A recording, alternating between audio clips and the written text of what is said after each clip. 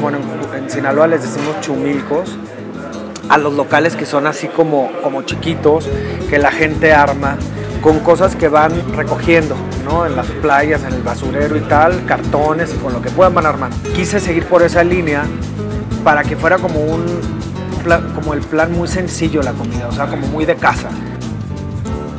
Todo es de Sinaloa, todos mis productos los traigo de Sinaloa. Tengo gorditas, tostadas y tacos dorados. Tengo los aguachiles, tengo tacos de chilorio, frijoles puercos.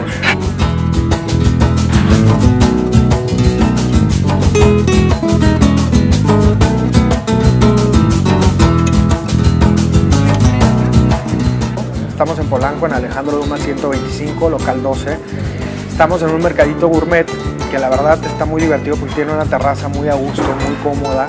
Este, habemos varios restaurancitos. Yo soy el local número 12. Entrando hasta el fondo estamos nosotros.